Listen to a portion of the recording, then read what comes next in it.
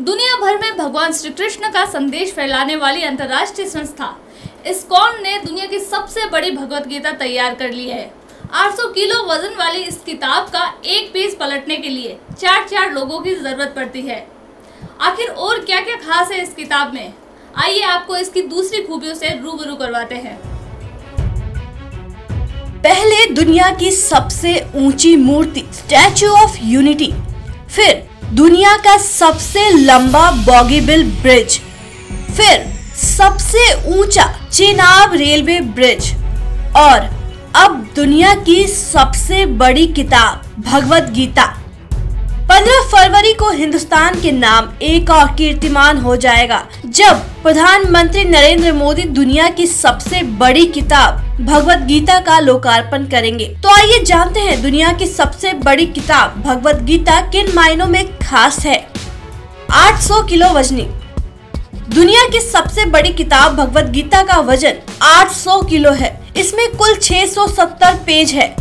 यह इतनी भारी है कि इसके एक पेज को पलटने के लिए चार लोगों की ज़रूरत पड़ती है। लंबाई और चौड़ाई।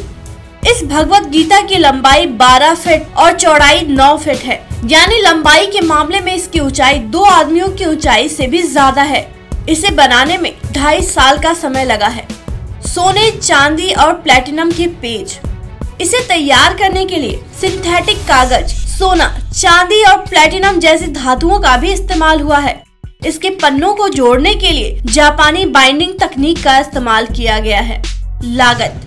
इस किताब को इस्कॉन, इटली ने बनाया है। इस्कॉन के सभी केंद्रों से राशि जमा कर इसे बनाया गया है। इसके निर्माण में लगभग डेढ़ करोड़ रुपए का खर्च आया है। Cover page.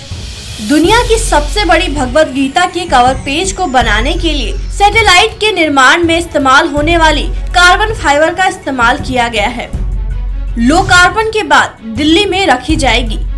इसके स्वरूप और योजना में स्कॉन के कर्मचारियों ने साथ दिया, जबकि मुद्रण और निर्माण का जिम्मा मिलान के विशेषज्ञों ने संभाला।